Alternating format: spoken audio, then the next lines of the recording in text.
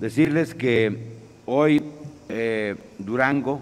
se encuentra en una situación de alerta eh, a consecuencia de las intensas lluvias que hemos tenido en los últimos días. Eh, prácticamente en todo el estado ha habido precipitaciones por encima de las que se presentaban en otros tiempos y eso nos ha generado indudablemente pues problemas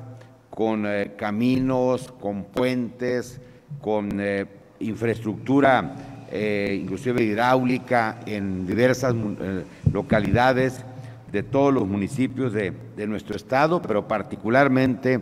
el mayor problema hoy lo traemos indudablemente en el municipio de Canatlán,